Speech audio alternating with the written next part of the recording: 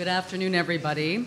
Welcome. I'm Kate Seeley, Vice President of the Middle East Institute, and I'm delighted to welcome you to today's panel marking the public release of Zogby Research Services' most recent poll on Middle East public opinion, prepared for the Sir Bani Yas Forum, a policy uh, forum organized by the UAE Ministry of Foreign Affairs.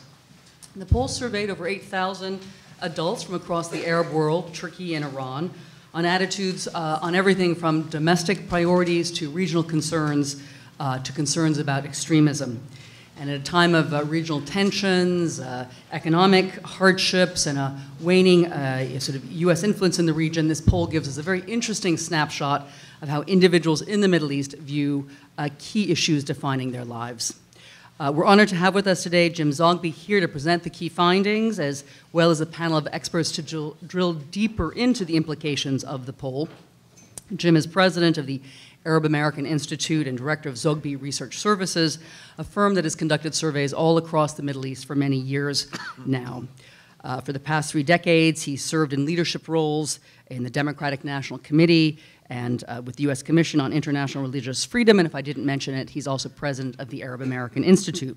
Jim is going to present on the poll, and that will be followed by a discussion with our panelists who will uh, come up on stage afterwards. So thank you, Jim, and please take the stage.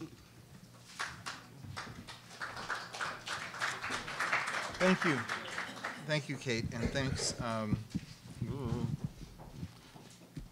uh, and thanks to Paul Salem and the Middle East Institute for, for co-hosting this. This is um, uh, maybe the sixth, for, I don't know, we've been, I've been polling for the Sir Bani Yas Forum now since 2011. Um, and what's interesting are not only the results, but sometimes seeing them in the historical context of where the numbers were and what has happened um, in terms of broader attitudes as we, as we move forward. Um, let me begin um, I'm not going to start with that one. I want to start with some that I don't have charts for, but you have them in the book um, on the, the very first page uh, of numbers, which would be the black and white chart on page five. It identifies the, the number one political priorities. We asked people to rank political priorities in their countries. And what was, uh, uh, uh we've been doing this question now going back to um, mass movement. People getting the numbers. Okay.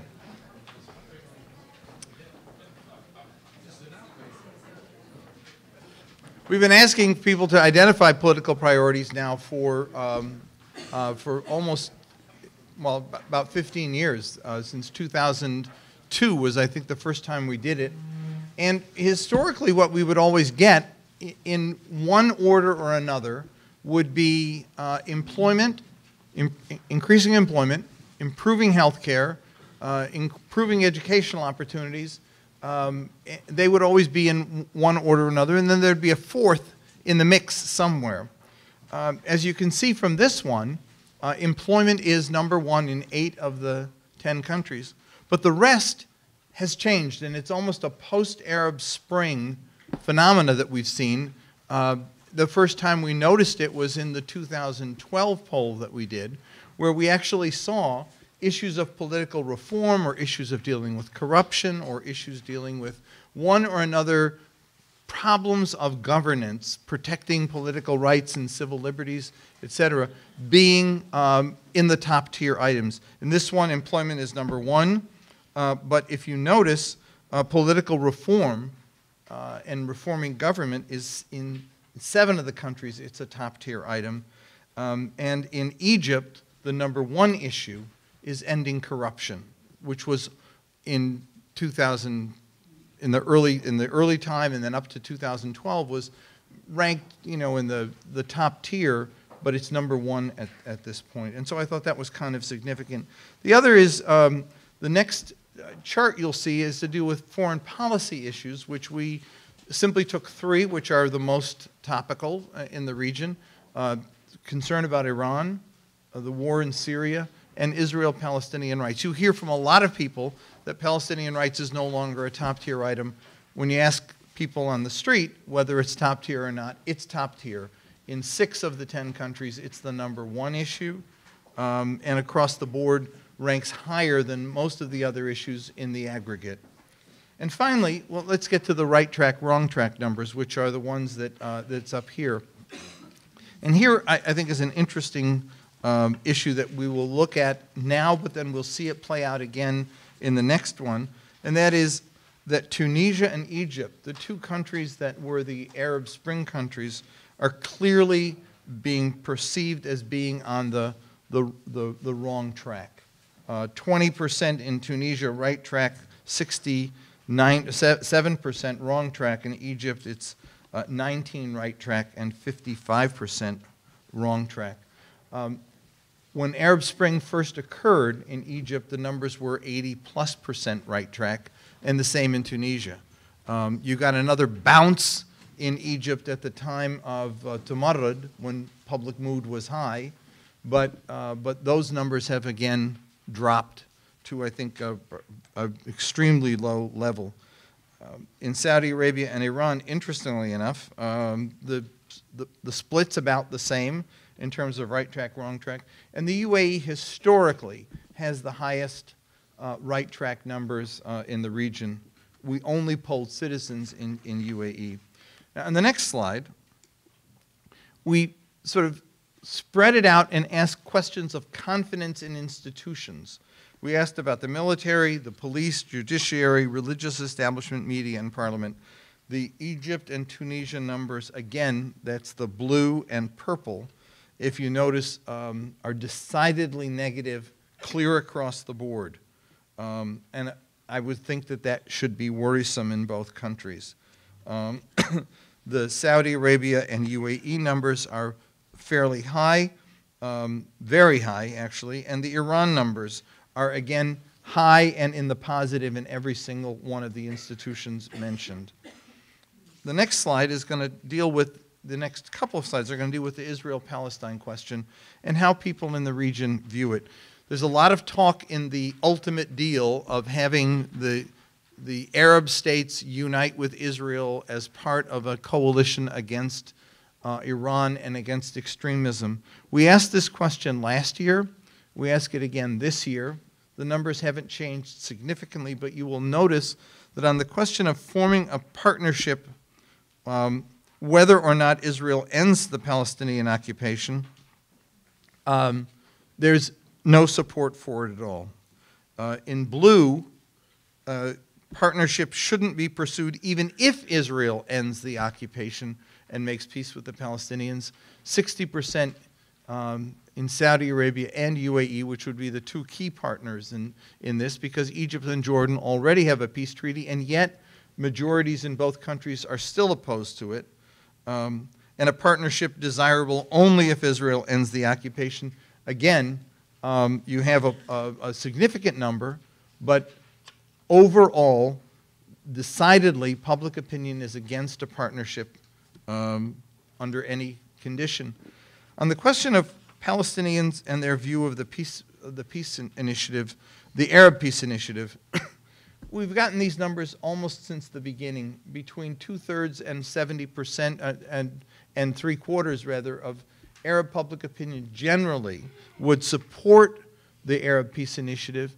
Uh, if Israel took the steps required, they would be willing to make peace. Um, the Palestinians are still there, but uh, as you can see from the yellow, they are ready for peace, but they don't think Israel is ready for peace and that's where a plurality of the opinion is.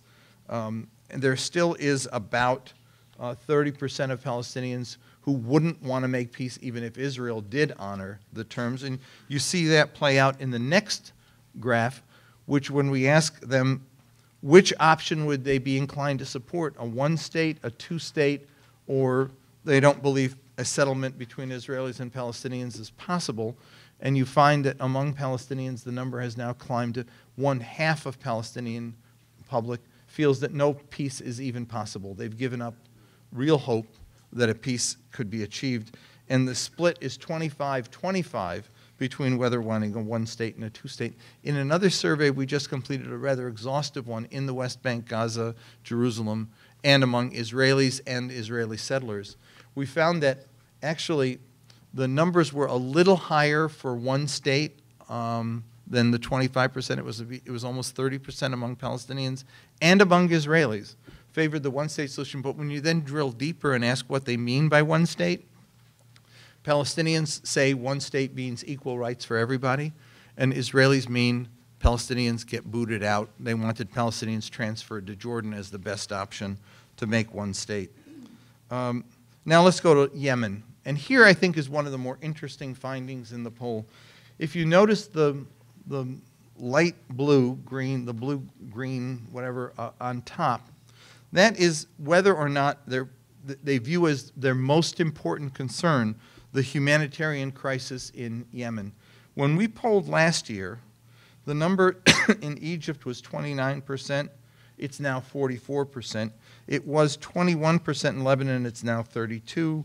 It was 15 in Jordan. Is now 36. It was 10% in Saudi Arabia and is now 39, and was 9% in UAE and it's now 43. So in the two countries most directly engaged in Yemen, um, you have 40% and UAE plus uh, 40% believing that the most important issue is the humanitarian crisis, a growing awareness of that issue that didn't exist uh, up until this year.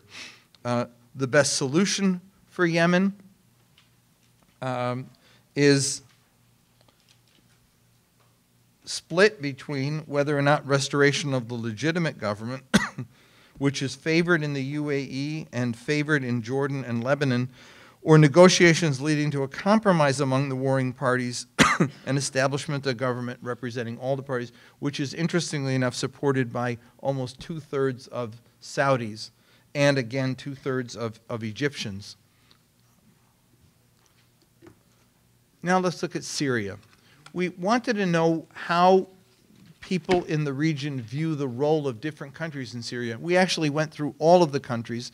You'll see the charts there, the, the tables there in the book. But I just pulled out for this PowerPoint a couple that I thought were, were interesting to note.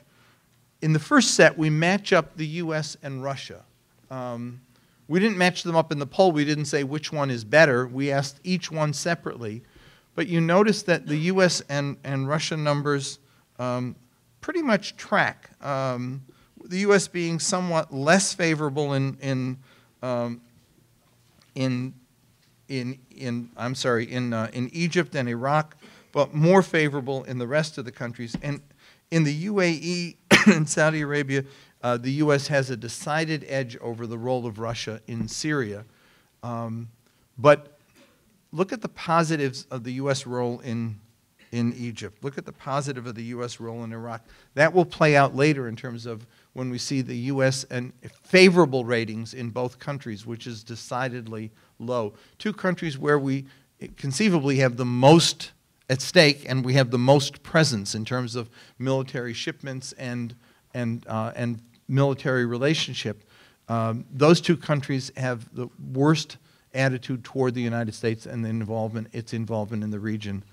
Um, now, to the next slide, we paired up, in this instance, we did more than pair. We did Iran, Turkey, and Saudi Arabia, who are the regional competitors. Um, and you can see that the, the I mean, what's playing out is the, the, US, the, the Saudi Arabia and uh, Turkey uh, competition is, is quite real. Um, Iran is off the charts negative in most countries except uh, in Iraq. Uh, but even, and even in Lebanon, it has a decidedly negative uh, view of its role in, um, um, in, in Syria. But look at, and this is something that we first began noticing in 2011, look at the sectarian split, which I think is quite interesting. Sunni in Iraq, have a 57% favorable view of Iran, um, negative view of Iran, sorry, and a 2% favorable view, whereas Shia have a 23% negative view and a 41% positive view. That in itself is interesting in Iraq that you have about a quarter of the Shia population have a negative view of Iran across the board. But in Saudi Arabia, um, the bottom one, look at that. It's like a red state, blue state, American split. Um, and when people ask me, how do you know people are telling you the truth? Uh, in these polls, when I get a poll that says to me that 91% of Shia in Saudi Arabia think that Iran is playing a positive role, um, uh, I think that they're telling me something that I have to pay attention to. Um, and it's the same if you look in, in, in the, the full table you have there. They also view Saudi Arabia as playing a negative role in, in, uh, uh, in Syria. So this split is something quite worrisome. It's something that has developed over the last uh, decade or so and is, is really quite pronounced in, in all of the countries uh, where there's a, um, a Sunni Shia uh, mix in population. The next is the best future for Syria. And here I think the most interesting thing was the light blue in the middle, which is negotiations leading to a national unity government with the participation of Bashar al Assad. In previous years, the, the, regime of, of Bashar al Assad was viewed as taboo in most Arab countries. Um, that is clearly no longer the case. And in, if you look at the UAE number, uh, which is 29 this year, Last year it was zero. In Saudi Arabia, it's 24 this year, about a quarter of the population. Last year it was 2%. Um, still is the case that in most of the countries, Egypt in particular, Saudi Arabia, and UAE, the future, the best future for Syria, is still viewed as negotiations leading to a government without him, but that has declined um, precipitously in some of the countries. And in UAE, 97% were in that camp last year. This year it's down to 54%. So I think that that's something actually that there's a dawning recognition that he's not going away, and we have to figure out a way to make it make it make it happen. now let's switch to Iran. First was we asked people a historic question. We said, how did you feel about the P5 plus one when it occurred? Did you support it or oppose it? Over 50% in every country said they supported it. That pretty much was what we found when we polled on Iran back in, in two years ago when this was first news. Uh, a, a, a slight majority everywhere supported it. Opinion was somewhat split. We then asked a question uh, about whether or not they felt that it was successful. And in Lebanon, Jordan, and Turkey, they said it was successful. And in Egypt, Iraq and UAE, opinion was split. But opinion was somewhat divided as to whether it was successful or not. Nevertheless, when we asked the next question, whether or not they supported the Trump, the Trump administration's decision to pull out of the P5 plus one, um, support was extremely high in the UAE and Saudi Arabia, but it was also high in Iraq, Jordan. Egypt was the only country that opposed the decision to pull out of the P5 plus one. We then asked a series of questions about if a new agreement were to be negotiated, what would you want in it? And here's what we found. We found if you look at the second on the top line, the number one thing that they seem to want most in almost every instance was an end of Iranian involvement in Arab conflicts. So it, it very well may be that what is the Trump administration is trying to do um, is on the right track in terms of where Arab, Arab public opinion is. Um, uh, there is only in Egypt is there support for um, Iran participating in a regional security framework, somewhat also positive in Iraq.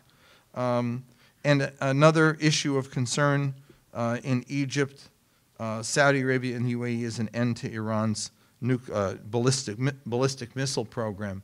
But the number one issue that gets over the 50% line in every country is ending Iran's involvement in, uh, in regional conflicts. Possibility for Iran and the Arab world to live in peace. The dark green is very possible. The light green is somewhat possible. Um, with the exception of Egypt, um, a majority in every country thinks it's somewhat possible, at least that there be peace. Iran, Iranians themselves are the most positive about this, um, but there's not a great deal of enthusiasm um, because the very possible is, is, uh, uh, is, is quite low in most countries. Now we go to polling in Iran itself. We asked Iranians about their satisfaction with the government's performance in several areas, and you can see that it's down. down from where it was last year um, in areas of economy, democracy, civil rights, and then support to their allies in the region. Uh, the other two, relations with Arab governments and relations with the West, are new. We, we asked them this year, we'd asked them in earlier years, but we didn't ask them last year. Uh, we asked Iranians then um, whether or not it was a good thing uh, that they have a nuclear weapon or whether or not the, the P5 plus 1 was a good thing. And what we found was um, in 2015, 32% of Iranians thought it was a good thing that they gave up their weapons program. 68% said it was a bad thing. In 2018, that number is now 45 think it was a good thing that they gave up their weapons program. 55% said it's negative. But when we ask the question, should Iran have a nuclear weapon? Um, 41% in blue said that yes, they should because their country is a major nation and should have it. The next one, 43% in yellow, said as long as other countries have weapons, we need them also. Only 16% said it was always wrong, so no country, including my own, should have them. The Ayatollah, who has pretty much said that having a nuclear weapon is a wrong thing, morally wrong, and should, is clearly not reaching most of his people. Um, about 80% of Iranians think that they should have a nuclear weapon. We asked this question every year about involvement in various regional conflicts. It was the highest in 2014. By 2016, when the, the P5 plus 1 was in full swing, uh, the numbers had dropped rather precipitously. But as Iranian disenchantment with how P5 plus 1 was being implemented, the numbers went back up. Um, and now we can see that they're somewhat down, but still, a majority in every instance felt that the involvements in Syria, Lebanon, Iraq, and Yemen were worth it, um, and that the government should continue to be involved. Now, there is a very large table where we rank all the countries in terms of favorable rating and unfavorable rating across the board, but I pulled out just a few um, for, eh, to make some charts, and I'll show them to you next. Overall, EU and China come out best. EU comes out the, the, the very best. Um, Turkey and Saudi Arabia do quite well and are actually quite paired up against each other as, as regional rivals. Um, the US and Iran come out poorest um, in almost every country um, except uh, Iran does okay, just okay. There's a split in Lebanon and in um, uh, Iraq. And the U.S. does very well in UAE and Saudi Arabia, but otherwise numbers were quite low. Let's look at a few. Here's Egypt. And you can see in Egypt where the U.S. numbers are. Um, the next one is Iraq. And again, the U.S. numbers in Iraq are quite low, um, with almost everybody else other than the EU uh, coming in at around 50%. The next is how Saudi Arabia ranks in these various countries, and Saudi Arabia does very well everywhere but in Turkey and in Iran. Over 50% in all of them, ranking very high. Uh, its attitude, uh, uh, I'm sorry, this is not attitudes towards Saudi Arabia. Saudi Arabia's attitude towards other countries uh, doing very well, and, and uh, the U.S. does very well there, as does China and the, U, and the EU, but Turkey and Iran do quite poorly. And finally is uh, UAE's attitudes, and UAE attitude toward the U.S. is very high, toward Saudi Arabia is extremely high. Um, it was like 96%, and I think 4% had no view at all, or something like that. China and EU, again, high, but Iran, quite low. Um, that's pretty much where we are. That's the end of, uh, of, the, of the report uh, as I have it now. Um, and I'd be happy to have the panel come and talk and take any questions that you might have.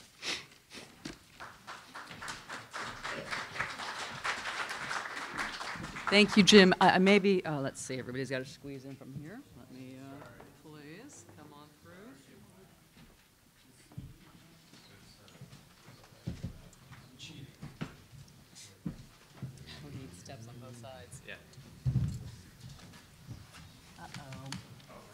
Haley Smart. Can you get a sign in?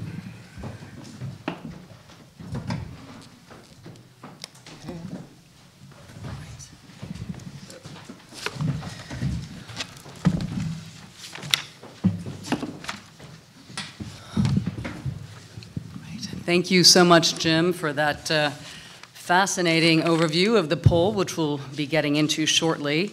Uh, let me just introduce uh, all the panelists first uh, then we'll uh, talk to Jim a bit and move on. Um, Nadia Bilbassy uh, was unfortunately unable to join us today. She was going to be talking about Arab reactions to the poll. Uh, here to fill in for her is Paul Salem, president of the Middle East Institute. Uh, Paul's work focuses on issues of political change, transition, and conflict, as well as the regional and international relations of the Middle East.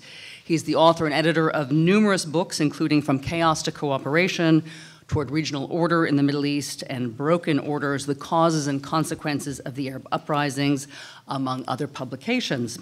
Also joining us today is Steve Cook. Thank you so much, Steve, who will discuss the results of the poll relating to Turkey and probably also Egypt, another specialization of his. Uh, Stephen is the Eni Enrico Mattei Senior Fellow for Middle East and Africa Studies at the Council on Foreign Relations. He's an expert on uh, Turkish and Arab politics, as well as a U.S. Middle East uh, policy expert. He's the author of False Dawn, uh, Protest, Democracy, and Violence in the New uh, Middle East, as well as The Struggle for Egypt from Nasser to Tahrir Square, among other publications. And finally, last but not least, we'll be joined by, we are joined by MEI Senior Fellow Alex Vatanka, who will be discussing the views from Iran and the region's reaction to the nuclear deal uh, and the possibility for Iranians and Arabs to uh, ever live happily together in peace. Uh, Alex specializes in uh, Middle Eastern regional security affairs with a focus on Iran. He's the author of Iran and Pakistan Security, Diplomacy, and American Influence, and a forthcoming book on Iranian regional security. Jim, let me just start with you since you have been doing these polls for so many years. I'm just curious, what really stood out for you, um, either uh, as an indicator of a changing regional dynamic or as a testament to an enduring view, regardless of changing regional dynamics, that you found extremely noteworthy? I, I think that the two issues that I found noteworthy and worrisome were, um, well, the one was noteworthy and worrisome. The other one is just noteworthy. The first was the um, the um, U.S. numbers, the favorable rating and, and performance in Syria and performance in Iraq uh, across the board in Egypt um, and in Iraq itself. Uh, the U.S. has troops in Iraq. Um, we feel strongly uh, as Americans that we played a significant role in freeing uh, Iraq of, of, of ISIS, and yet Iraqis are, are decidedly against and have always been Actually, since the very beginning of our polling, we found that uh, Iraqis are, are not favorably inclined toward the United States. We are not a welcome presence in the country. The other was the, the, uh, the humanitarian crisis issue in, in opinion across the region. That was something that uh, last year was not on the charts, and this year has grown rather significantly uh, in the Arab world. It clearly is something that is felt here in the West, but it's also viewed in the Arab world rather, rather decidedly. And the, the other, and the last one, I think, is something that I know Steve and I are going to talk about, and that's Egypt. Um, the numbers in Egypt are um, have gone south, and they've gone, they've moved decidedly lower um, in every year since 2013, and and yet people, I think, are in denial about it. Um, Which numbers in particular? The, well, when, when 41% of Egyptians think um, that uh, have no confidence in the military, um, whereas in 2013 it was 94% had confidence in the military. And then it went down a year later to 70%, and now we're in the 41% range. That's a number I'd be concerned about. That was the one institution that Egyptians had significant positive feelings towards and their attitude toward other institutions in the country and the right track, wrong track numbers, those aren't good numbers. Um, and so I don't know what it means in terms of, does it mean we're in a, a sort of a, a pre-revolutionary phase, or I, I can't say that. Uh, I'm not sure that each, that's a, an issue beyond what the numbers tell you, but it does tell you that Egyptians aren't happy with their circumstance, and I think that's something to pay attention to. Yeah, definitely. Ending corruption is one of the number one priorities uh, today. Um, many years after the Arab Spring, that, that says a lot. All right, I'm going to try to be very systematic uh, with this panel. I want to first talk about uh, domestic uh, policy uh, attitudes, and I want to get into regional concerns, and then end on this issue of uh, why the U.S. is so unpopular these days and why the EU and China are so loved. And I'm going to start with you, Paul, and talk a little bit about the Arab world. I mean, consistently, the issue of employment, or as we should say, unemployment, uh, has been a number one issue. It was there this year and last year, but we saw some other new concerns pop up that are new. Uh, Jim referenced them. Women's rights showed up as number two and number three in many countries, personal rights. Uh, can you weigh in on what uh, you found significant in the, in the, in the domestic area? Yeah, I found it. A lot of things are, are, were very sort of interesting and fascinating to me. One was, and, and some of them were already highlighted by Jim, but maybe I'll comment them on them a bit more. That the prominence of political reform still uh, in almost all the countries, um, to me, is very, very significant. Obviously, people need employment and health care and so on, but that the fact that they would continue to come back to political change, political reform as a very key as a very key issue, indicates to me that the engines, the things we saw in 2011 and so on, are not only not going away and that people are unhappy, but that people are still identifying a change in political systems or some kind of political reform as a very important thing for themselves and their countries.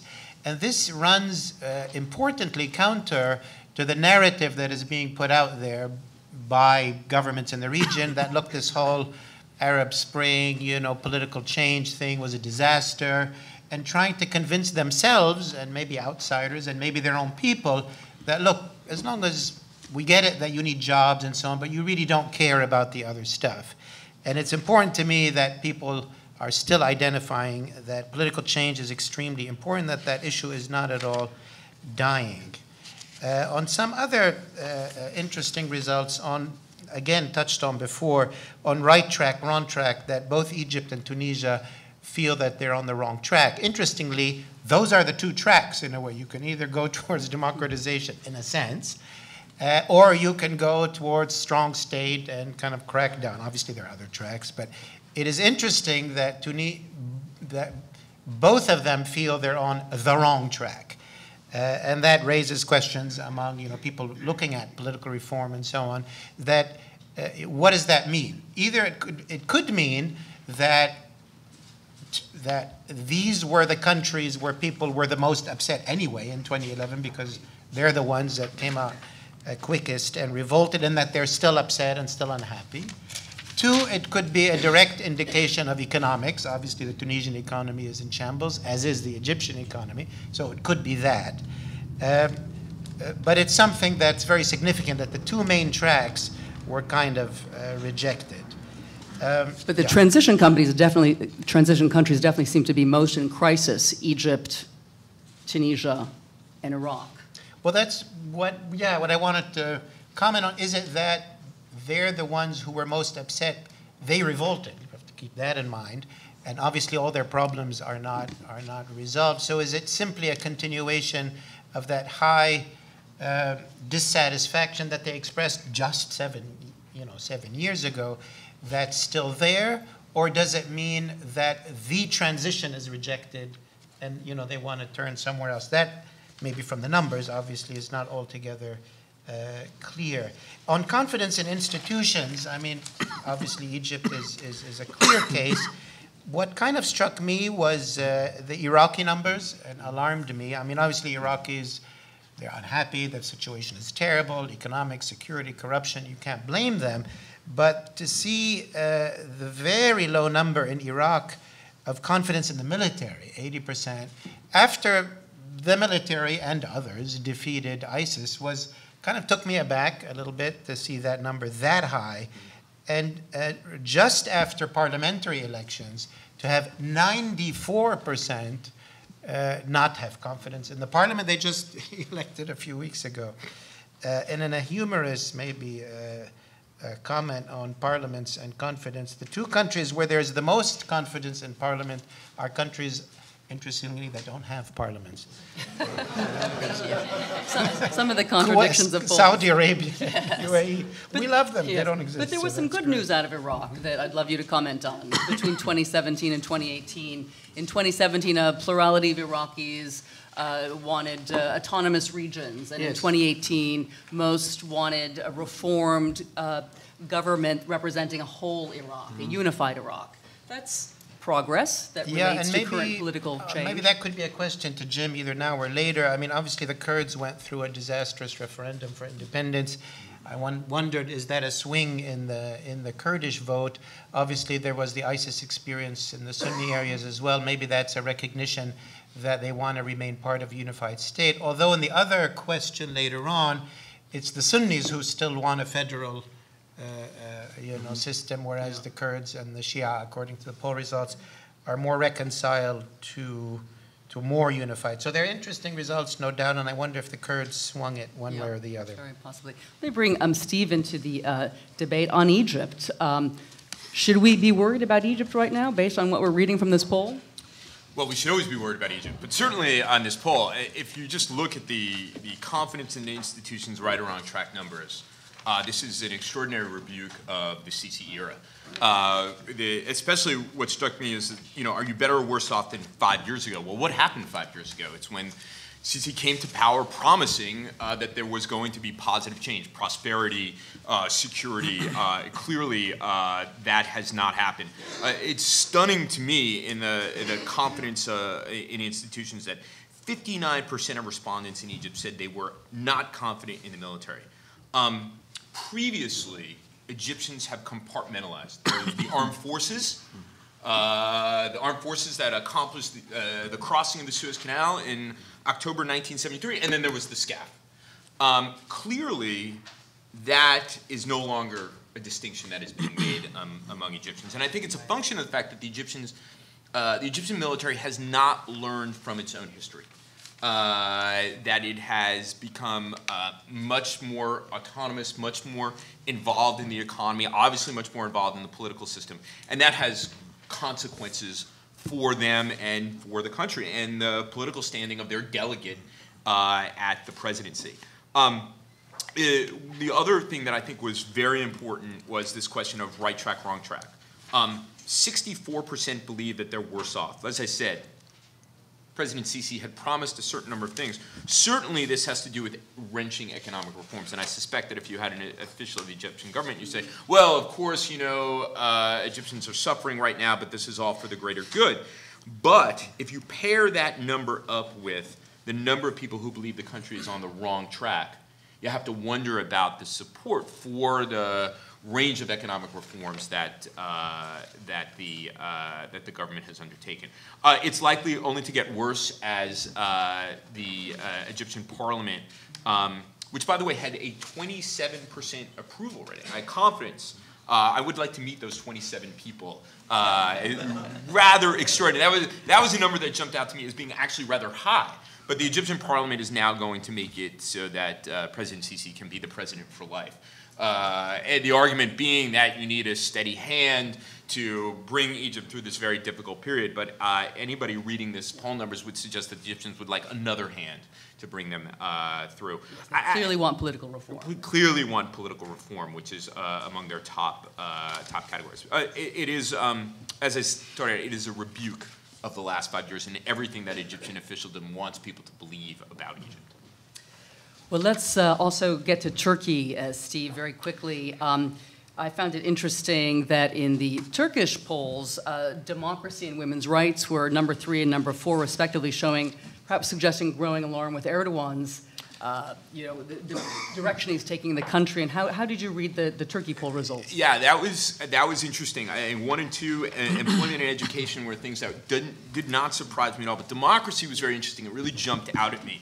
And because Turkey is such a polarized society, it's hard to know whether people are saying that uh, they're so concerned about the authoritarian turn in Turkey that Turkey's become an elected autocracy, or they're saying they're so happy because democracy under the AKP and President Erdogan has flourished. And that, that is, you can put two Turks together and they will have uh, compelling narratives about each.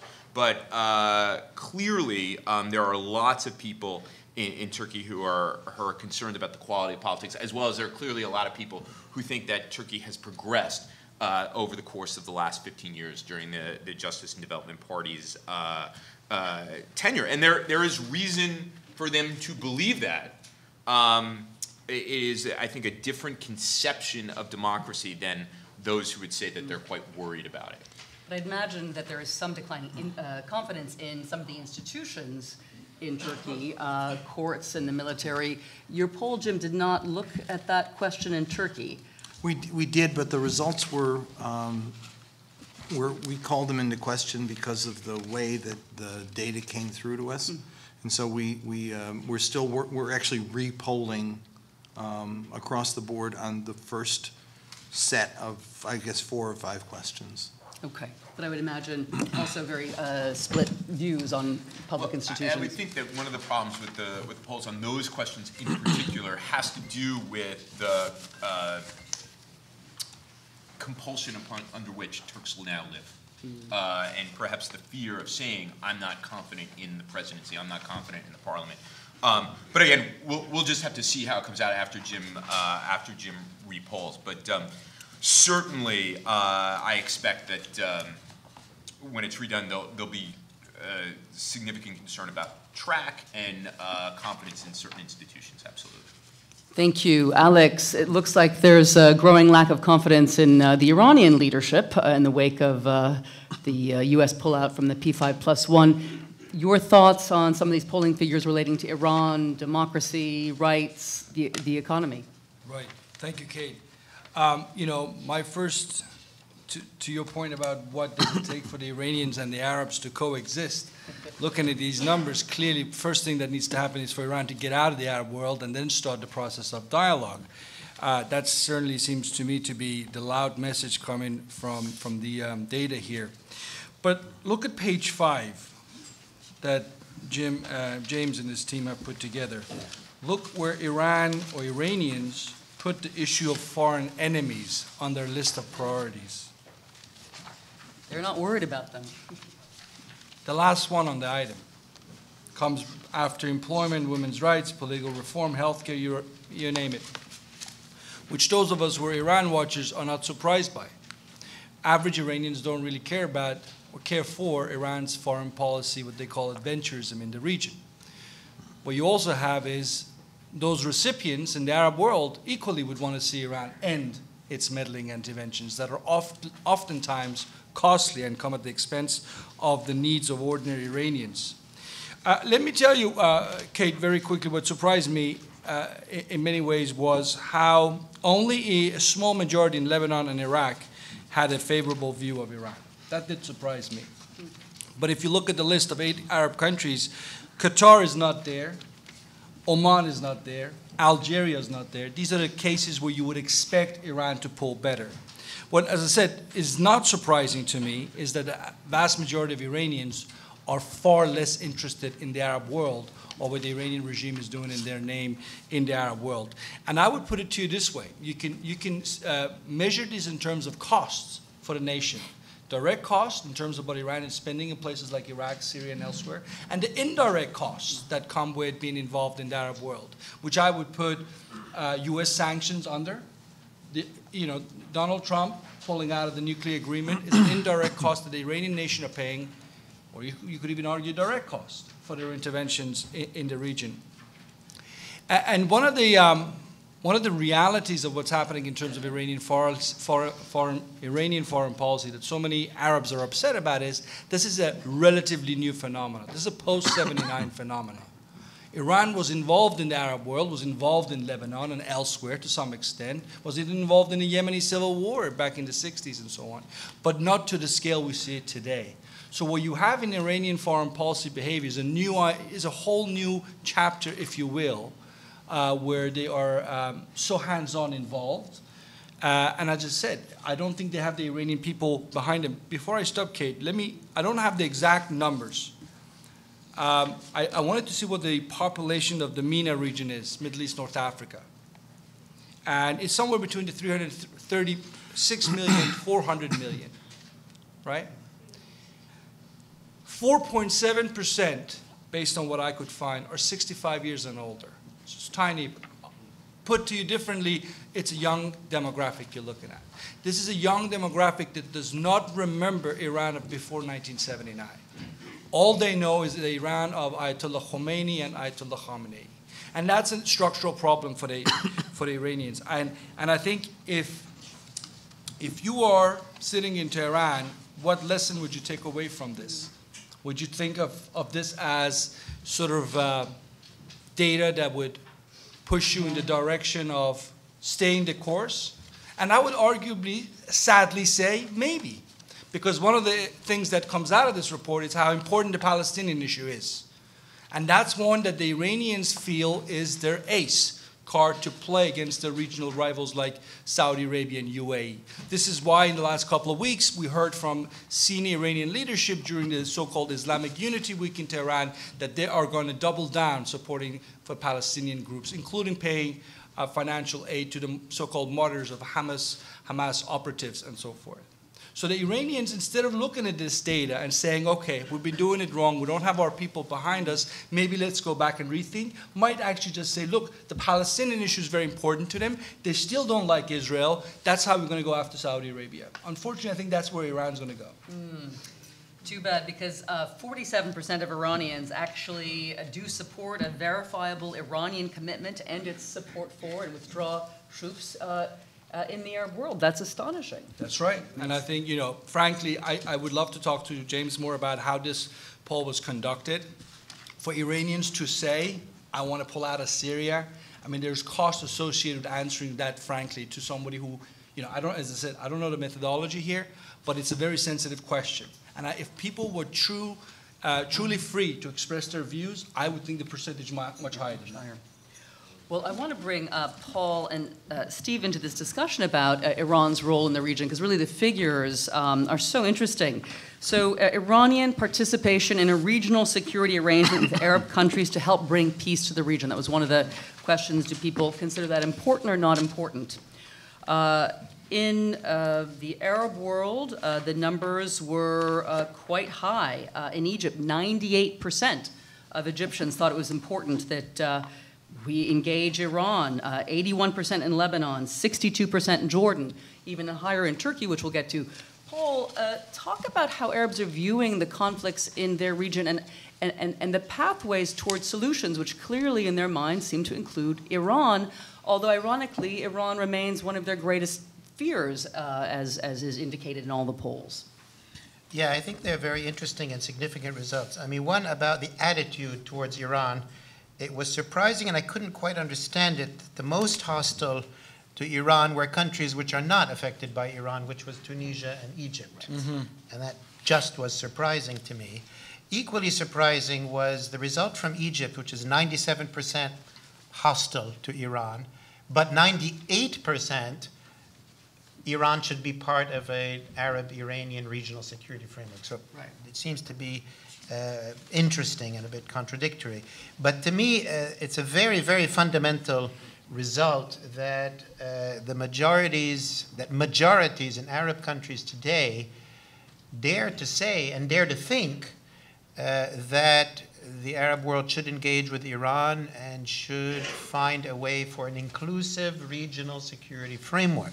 Of course, that's something we've worked on a lot here at MEI, and, and to my mind, that is the only pathway forward. But it's something that's been fiercely resisted by not all, but many Arab governments. It also runs counter to 70 years of Arab nationalism, the Arab identity, and the Arab order. So to see the population sort of think it through and come to this con- conclusion is, is historic to right. my mind and should be emphasized. Uh, also, to look at public opinion results in Saudi Arabia, that even in Saudi Arabia, you get that yes. result. Uh, and even in Saudi Arabia, when asked about Yemen, they say a negotiated settlement with everybody included uh, is important. That also indicates to me that the government in Saudi Arabia is way to the right of the, of the population. Yeah. Uh, and I think those are very, very important developments. I also link it a little bit to the results on Israel.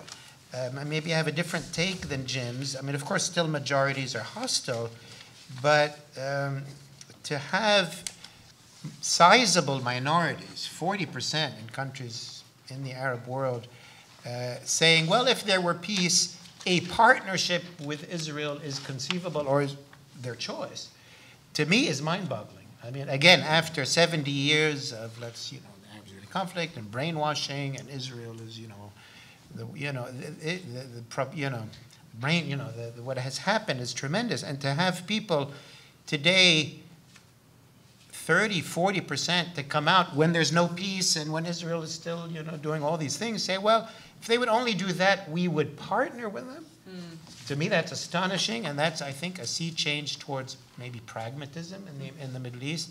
And maybe in that, they're not so out of touch with some of their leaders who are partnering, okay, without peace and so on. But these are pretty significant to my mind. Steve, I want to talk to you a little bit about the Turkey-Iran relationship, because I also think the, the numbers um, regarding, you know, Turks' views of engaging with Iran um, are very interesting, and of course, that's a very significant rivalry. Uh, Yeah, so 72% of Iran, uh, Turks, uh, no, 78% believe in a regional security arrangement. They also want to have Iran, you know, withdraw its troops and its, uh, its, its allies from the region. So talk a little bit about how you see that uh, rivalry and relationship uh, playing out. Yeah, you know, the, the, the, the Turks are very, very good at compartmentalizing their differences with the Iranians.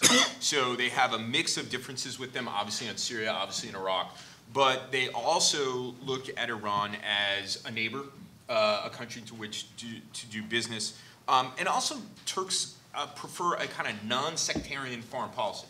Uh, and they view uh, Iran as a, a legitimate power in the region. That doesn't mean that they're not concerned about what Iran is doing around the region, but again, um, and, and because they themselves see Turkey as a natural leader of the region, and that, that's the compartmentalization part. The, uh, the Iranians mucking about in Syria, the Iranians mucking about Iraq. This is, you know, for the Turks, this is their, their backyard. But it is a, a major country for which to do business with, which uh, diplomacy is, uh, is the best way to go. And then let's, um, it, it's clear that Turks see the American confrontation with Iran, that connected American Zionist uh, confrontation. That's unnecessary and will destabilize. Uh, that will destabilize the region, and that's why I think you see the large numbers who want to see Iran play. You know, negotiation with the Iranians. Iranians playing a role in the region, but a constructive one.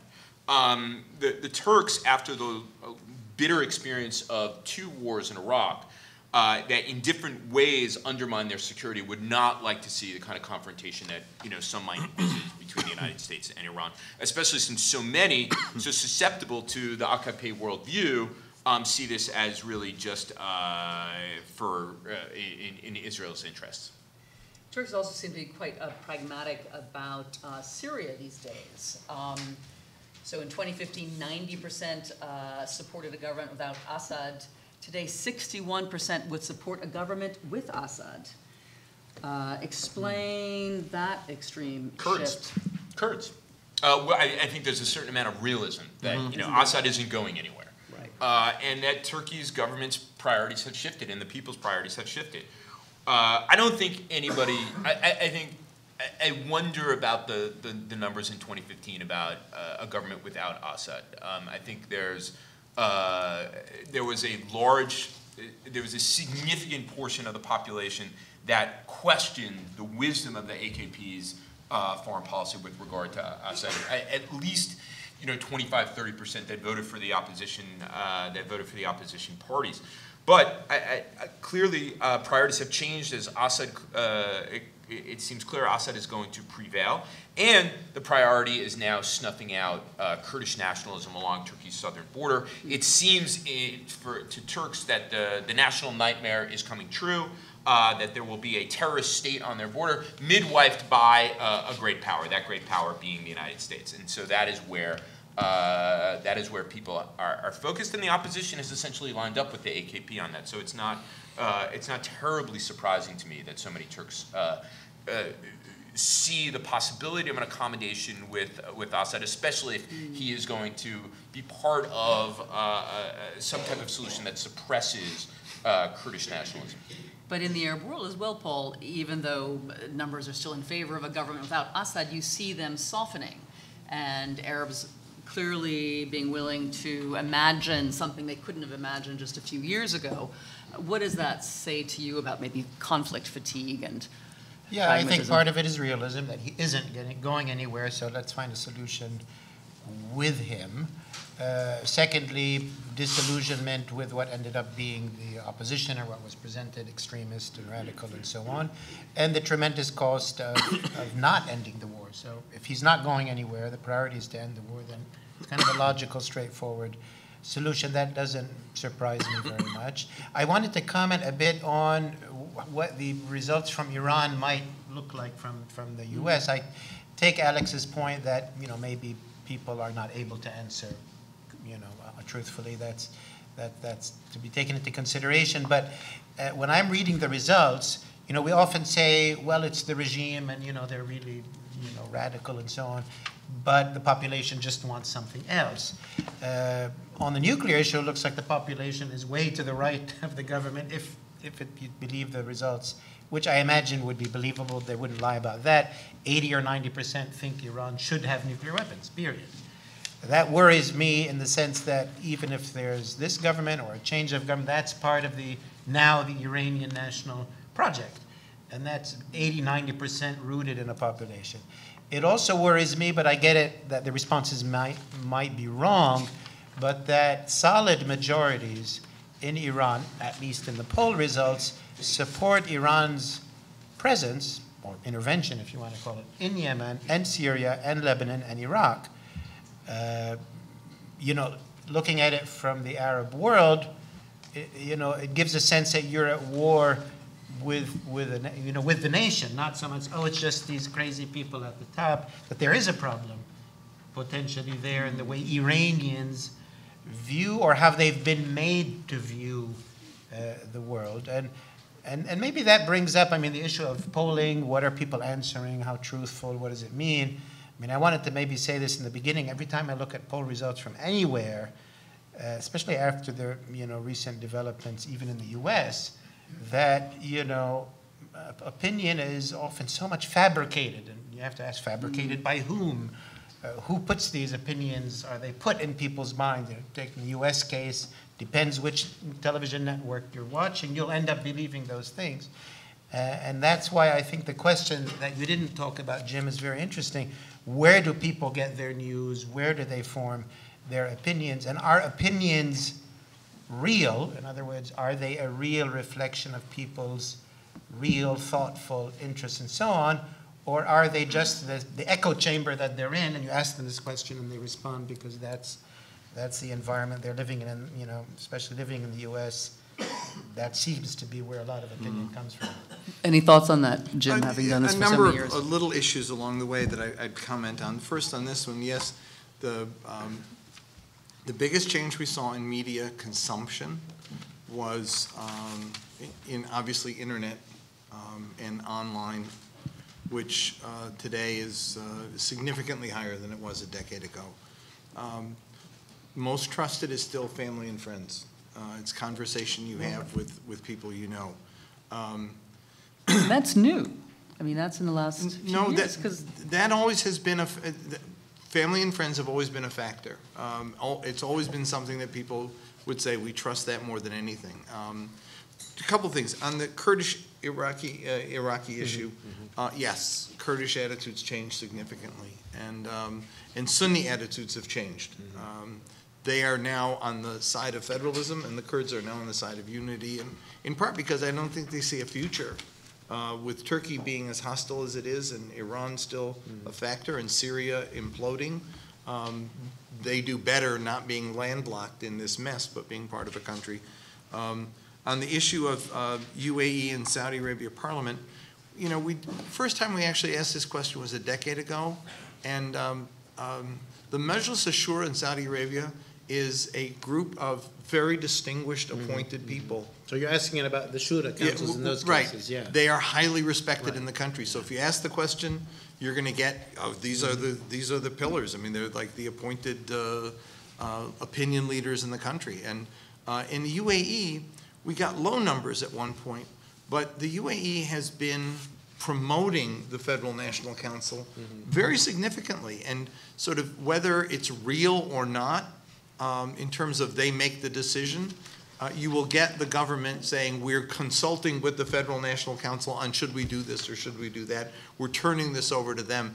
And so they've come to play in terms of public perception a much greater role um, in, in, in, in formulating policy, or at least the perception of that is there.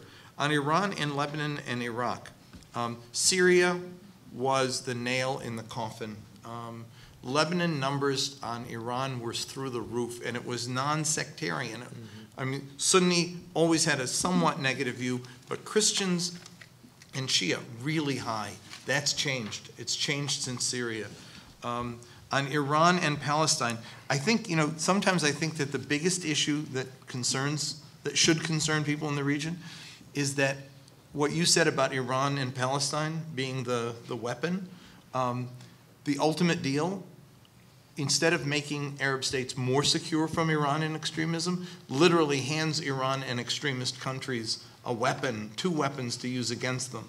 Um, and so, eh, yes, it's interesting that half of the public, about 40% rather, would support partnering with is with uh, with Israel against but that is what you said was pragmatism is exactly what it is. since the Arab Peace Initiative um, uh, the same number across the Arab world um, has said we're willing to make peace with Israel and normalize if they withdraw and fulfill the terms of the agreement. But just like the Palestinians, when we ask that question in Arab countries, a significant body of Arab opinion doesn't believe Israel ever will. And so it's, it's, they feel that way. They're willing to make a pragmatic decision. They just don't think it'll ever happen. On um, the Iran and regional security, that's, look, we had OSCE and we didn't love each other. Um, And so eh, when it's presented to people as a regional security compact, it doesn't mean we're going to like Iran. It just means we know that if we're fighting them in every country, maybe we need a framework so that we're not fighting them and can work it out. Um, So those numbers didn't surprise me, and the, the, the, um, that's it. Well, clearly, uh, Arab anger toward Iran and its role in the region is a big factor in this. And I, and I thought it was um, you know, interesting that you did ask, is it possible for Iran and the Arab world to, to live together? And it was the Iranians who polled the highest. 49% say yes, only 2% of Egyptians, uh, sorry, of Tunisians uh, believe it's possible. weird. Uh, very weird. Um, there's sort of a disconnect between, you know, what Iran thinks uh, can happen and the reality. I mean, Iranians kind of want to be loved. Uh, are they not aware of what they're doing in the region? Let me answer that by, Kate, if I may, by kind of going back to something that Paul said, because I think Paul raises a very fundamental question. He kind of left it um, open-ended, so let me come in and, and, and, you know, throw my comments around it. He said, are we potentially not fighting the Islamic Republic, but the nation of Iran? Mm. And I just don't see evidence to say we're fighting the nation of Iran. It's the ideology of the Islamic Republic that is less than 40 years old, that is in many ways bankrupt at home. it's a model, it's not just a model, it's a way of life. And it's that way of life that's being thrown out, or not thrown out. People in Iran are opposing this way of life, the idea of the Vilayat al-Faqih and the supreme leadership. So I think that to me uh, is important to bear in mind. When I see Iranian protesters, as we do, one of the, one of the key foreign, uh, foreign policy related slogans is my life for Iran, not Syria, not Lebanon. Get out of those places. Think about us. They tell us it's all America's fault. They're lying. They, meaning the ruling elite in Tehran. So I don't actually think the average Iranian has any interest in Yemen. And I don't think your average Iranian, frankly, despite 40 years of, of push by the regime, cares that much about what happens between Israel and Palestine. You know, you could even make that argument about Hezbollah in Lebanon. Um, I think, you know, it's an ideological project waged by a regime that has failed at home. It might have been a very different story had the Islamic Republic done wonderfully well domestically while they were doing this in the region. But the fact is they are failing at home, and by extension, their foreign policies also seem to be just a costly mistake on their part. Uh, two other comments, uh, Kate, if I may. Um, you know, what does Iran have to show for it, for its interventions in the Arab world? And I'll throw the Iran-Iraq war in there. That was the big, first biggest intervention, if you will. Now, I know Iranian compatriots will get upset and say that was defending Iran against an Arab invasion. But the fact is Saddam Hussein wanted the ceasefire from, from 1982, right? So why did the Iranian regime decide to fight for another six years? For ideological reasons, at the expense of the Iranian people. And you can continue because the list is long, excuse me, list is long in terms of what else they've done since. To, today, we have Iraq being Iran's biggest trading partner. So you could make an argu argument, well, economically it makes sense. But I'm not sure you need to have the Shia militias running around Iraq for two neighboring countries to have good economic ties. Iran's other major Arab trading partner is UAE, not a country that has great relations with Iran, certainly not the Abu Dhabi part of UAE. So I think there are ways where you can have economic, to your point about what can you have in terms of that, you know, paradise to come among Iranians and Arabs, you could find formulas where you can coexist, but the emphasis has to be on other, other issues than the ideological issues, the proxies that the Arab Gulf states fear so much and so forth. And, and final point, we're talking about regional um, security um, framework where perhaps Iran could be a partner. Could anybody here really realistically think that is going to come about without Iran making adjustments to its Israel policy and its policy uh, towards the United States? It's not going to happen. The Iranian position that yes, we can have a regional framework, but the United States needs to leave the Persian Gulf region first, it's a non starter. So, yes, I think Iran can be a partner, but they need to sort of go back and think and rethink what it is that they started back in 1979 and perhaps why it's a good time to turn the chapter and start something new. And for the life of me, I don't know why Tunisians and Egyptians fear Iran so much. They've never met. Let- Let me just, let me just say something about two of the things uh, that were mentioned. One about uh, uh, Iran and the Palestine question. I have long thought that Iran is not playing for a domestic audience, it's playing across the water. Um, And their threats against Israel are never focused at Israel, but it's across the water. Um, During the time of Iran's highest favorable rating in all the Arab countries was after 2006 in Lebanon. Um, And Iran's war cry then was, look at what your governments have done, nothing. We are the ones who stood by and we are the ones who supported. And after the war was over, Iran was the one that came in first with money, which is why Lebanon's numbers, favorable rating toward Iran, went very high for several, several years. So I've always believed that it was more, they know that across the water, Arab opinion toward Palestine, it's the wound in the heart that never healed. And they know that that's one that they can tweak every once in a while, and they do. Uh, not because their own people want it, but because they know that that's where Saudi opinion is, that's where Kuwaiti and everybody else is. Well, Kuwait, maybe it's a different story. Um, but several other Arab countries feel very deeply about it, and that's why I think is why Egypt and uh, Tunisia have the hostile feelings that they do. I that's something worth probing. We've always found that to be the case. And while there's no direct involvement, their attitudes, even when we did a religion poll on Shiism, which is not a phenomenon in Tunisia, I mean, people were like beside themselves over the threat of, of the Shia invasion in, uh, in Egypt and in, and in Tunisia. So it appears to be something that comes more from the religious establishment, uh, a hostility towards Shiism and toward Iran, than toward, uh, and than any real, real threat that's there. I just had a quick comment, a reflection on, uh, you know, Iran after 06 was number one popularity among the Arab world and the Muslim world in general. It's interesting that in Syria, they are willing to give up all their popularity in the Arab and Sunni world, like a billion people, as long as they preserve their core security corridors uh, uh, to Damascus and Hezbollah. Uh, and, and that to me indicates Yeah. the hardcore, secu- now, Yeah. if you're popular, that's great, but the hell with popularity if, if, if our interests, if our security interests are at stake. And I've always seen their presence in you know, Hezbollah and all of that as defensive, as aggressive defense against Israel or the United States. Um, We, we did a poll Yeah. in, for the BBC in 2006, 2008, rather, early 2008. And one of the questions was, name three leaders not from your own country that, that, are, that you most respect. In Saudi Arabia, the number one leader was Nasrallah. And number two Yeah. was Bashar al-Assad. Yeah. And number three was uh, uh, Ahmadinejad. I- This is from the heart of Wahhabism, right? From the heart of, of what, and what it was, was it was the residual from Lebanon still playing out. They stood tall, they were proud. Now, after 2011, got blown out. The, the Syria thing actually was, like I said, the nail in the coffin of Iran's opinion, uh, favorable opinion in the Arab world.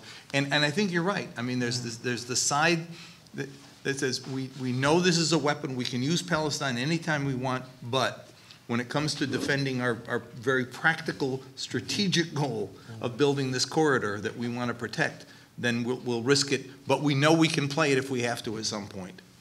So very briefly, we know Iran's favorability rating is low, and the U.S. as well, which I'll ask Jim about in a second. But uh, EU and China, uh, incredibly popular Yeah. in the region. Um, the weak EU, and well, we understand China. But maybe Steve, you could comment a little bit about shifting kind of power dynamics and sort of you know roles of new powers in the region and what it means for them in the region and the Yeah, let me start out in the wheelhouse with, with Turkey for, for a moment, because it used to be said that, you know, Turks hate everybody, but, uh, except for themselves. And, but the polls show very clearly, uh, that they like Russia, they like China, and they like the EU, uh, which is odd on a number of levels for all, for all three of them.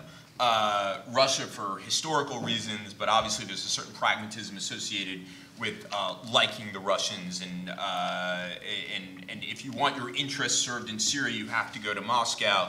And it's also a way of tweaking the United States. China, of course, is repressing a million Uyghurs. And, and, and here is Recep Tayyip Erdogan, who holds himself out as a leader of the Muslim world.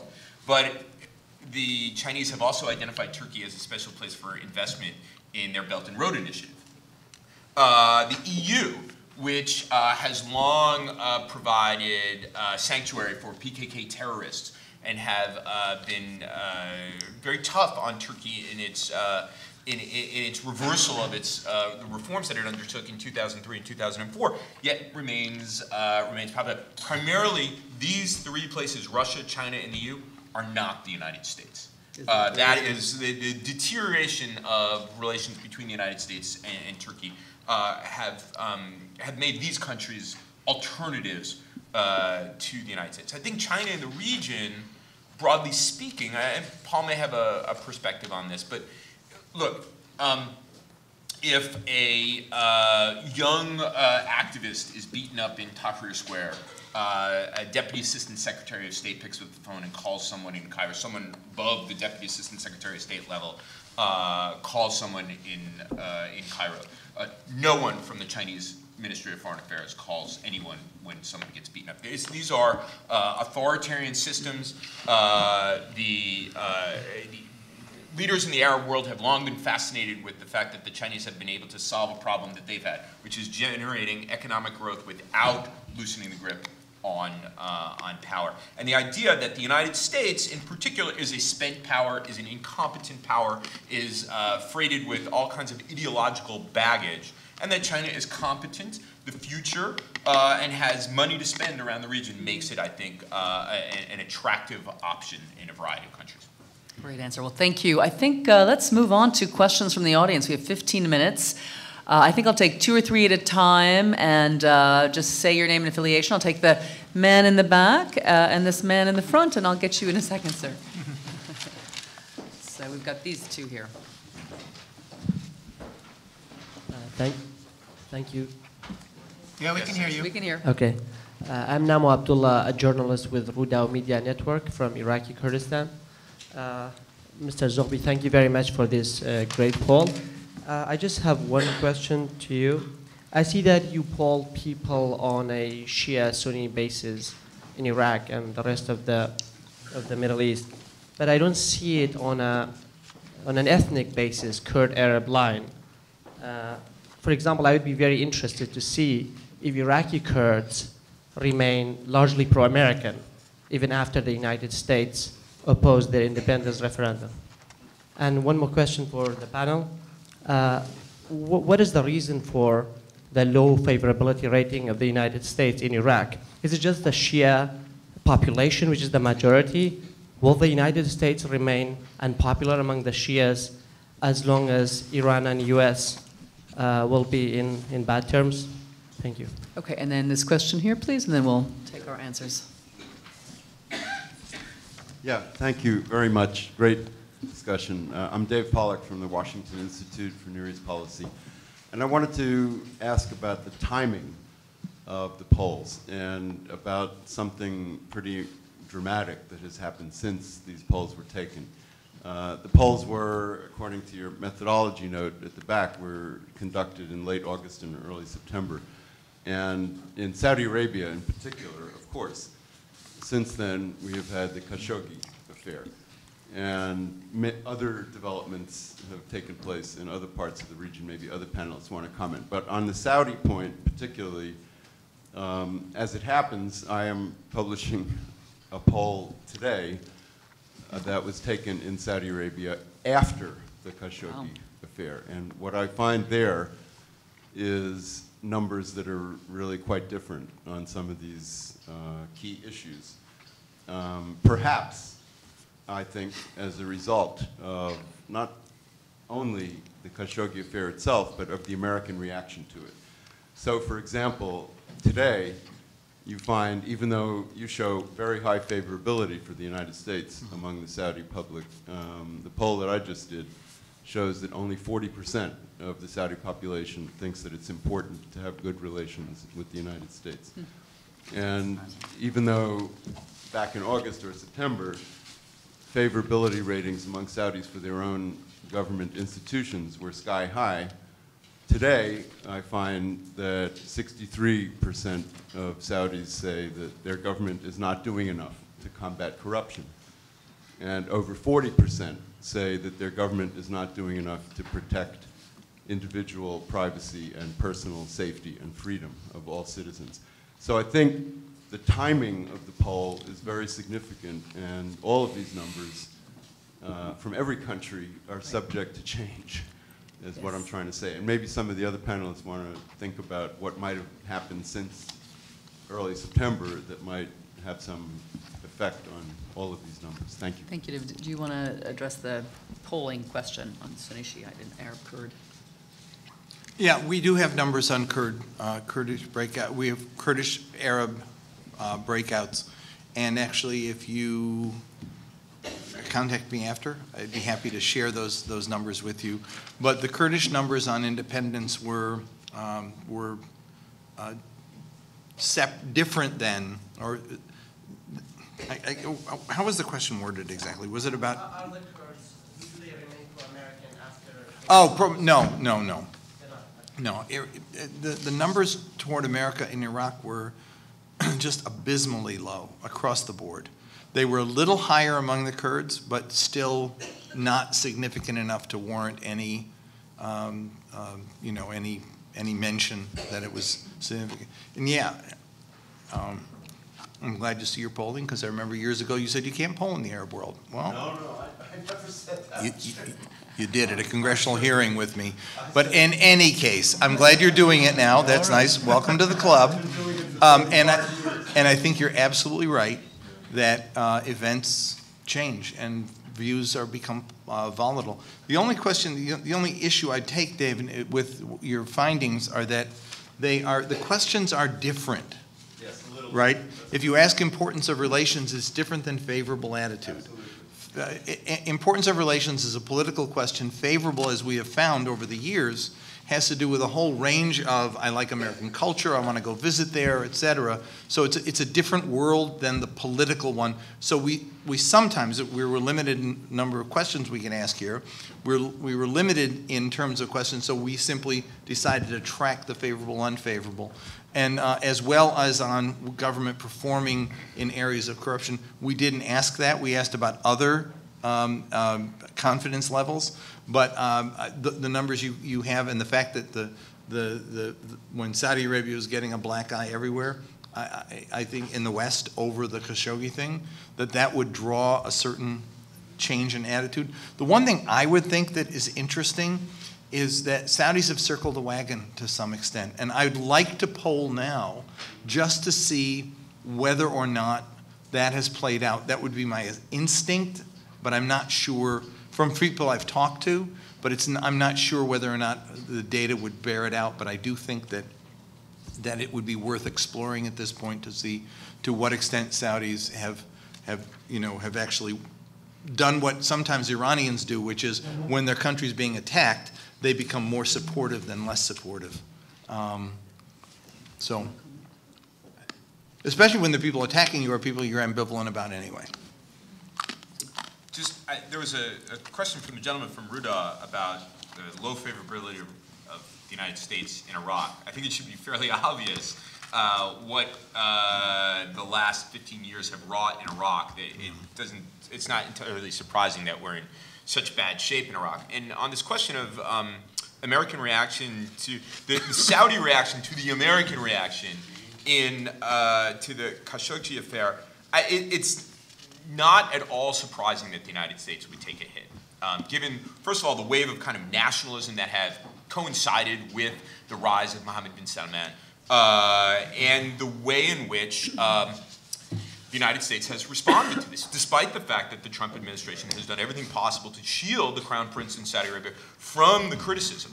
Uh, just from my own anecdotal experience in writing a piece trying to explain why there was, as Secretary of State Mike Pompeo was why there was caterwauling over the, if that's the correct way to pronounce it. I actually had to look that up. Uh, uh, over over the, the, the, killing of Khashoggi, there was rational and kind of emotional reasons for Americans to do it. I was essentially explaining this to Saudis, and they got very angry at me for explaining to them why Americans were uh, piling on, on, on this. So it, it, it, it is not at all surprising. This has become raw uh, uh, uh, both sides. And I expect the United States will take a hit over a longer period of time for this. There was already a sense that the United States was not as friendly to Saudi Arabia as, as we might suspect. Yeah, I mean, I wanted to comment on the Iraqi results related to the U.S. Obviously, it's not surprising that it would be an overall negative view, but I was surprised by the you know extremity of it, and that it would be uh, it seemed, according to the polling among Kurds and all Shiites and all Sunnis, uh, either that it's as weird as the Tunisian hostility to Iran, and maybe there's something we're, we're not understanding, uh, or there's also something we're not understanding about the catastrophically bad image that the U.S. has in Iraq. Because in visits to Iraq, whether it's to Erbil or Baghdad and so on, particularly in the phase of the war against ISIS, there was in fact a lot of, you know, we talked to a lot of people, they love what the U.S. is doing, but appreciation that the U.S. was mm-hmm. key in, you know, in fighting ISIS, and so was Iran, but the U.S. played a very big role. And to, if these numbers are real, there's something we're missing. You know, not being very favorable to the U.S., I get it, but there's something either odd about the results or way deeper than, than we're getting. I think it's the I, I, think it's the way deeper. Um, the, the impact of the last 15 years has been uh, decidedly, has, has had a real impact on Iraqi opinion. And I think, you know, that about the China EU and all the rest, uh, the uh, EU's rather benign player.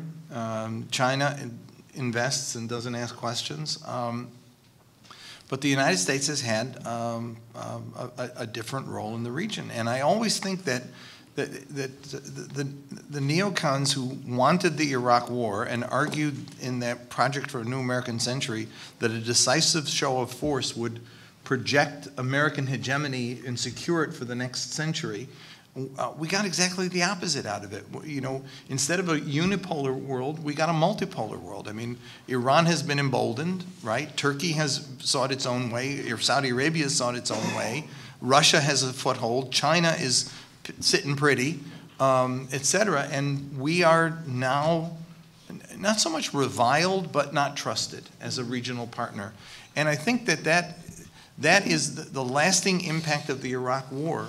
Will, it, will be with us for, for generations um, and has decidedly weakened America's status and, and ability to protect its interests in, in that region.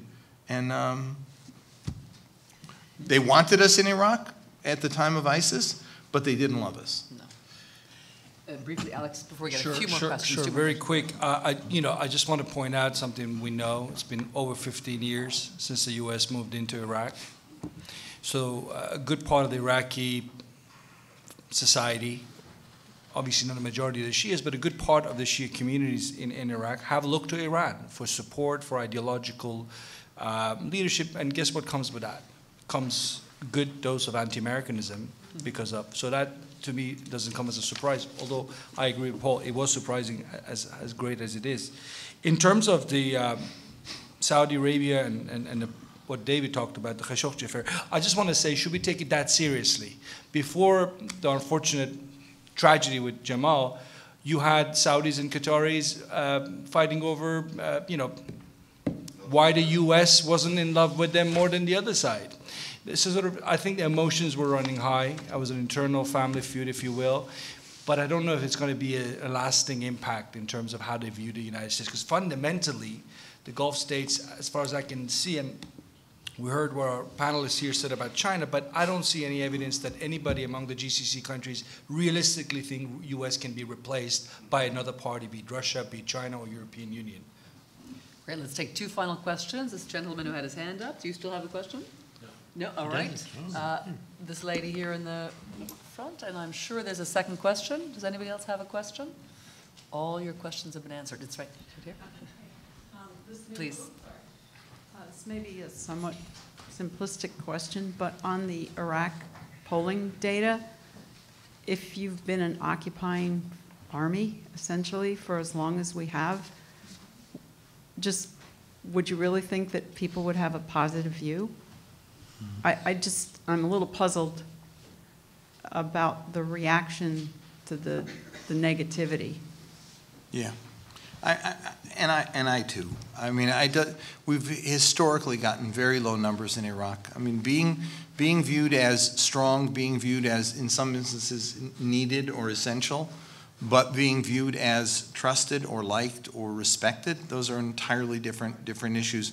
When we asked the question during the, the rise of ISIS, um, do, do, should the West play a role? Should the U.S. play a role?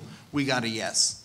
Do they like it? No, they don't. And the feeling of, of, uh, of, of like I said, that'll be with us for a, a, for a generation, and and not just in Iraq, but actually in, in other countries in the region. I was surprised by the really high numbers in Saudi Arabia um, and UAE, but when I thought about the, you know, when Trump was first elected and went over to Saudi Arabia and was greeted as he was, and and uh, that made some sense. But I do think that there's going to be a settling in, um, and Saudis will go back to where they were, um, uh, you know, just a few years ago in terms of their feelings about the United States. We have not behaved as a trusted partner um, and as a country that engenders uh, respect and goodwill. Our strongest assets in that region are the ones that we downplay, and that is our cultural values um, and um, um, and our accomplishments, and and the fact that we are viewed as a welcoming society. Well, we're losing that a little bit, but we still have the cultural values. And I used to say I, the, that sometimes I think our um, our best public diplomats were like Starbucks and McDonald's, you know, uh, and, and and we we dismiss it, but in fact, you know, when people go to a Starbucks or a or a McDonald's, it's not because the food's better or the coffee's better. It's because they're doing an American thing and they like it. They feel good about it. They, it's the closest they can come. When they wear a, a basketball jersey with Stephen Curry's name on it or a New York Yankees hat, uh, in, in the, the boys in Saudi Arabia. It's not because they love America, but they love the culture and the value system that we project. And behind all of those things is a value system that we sometimes don't understand.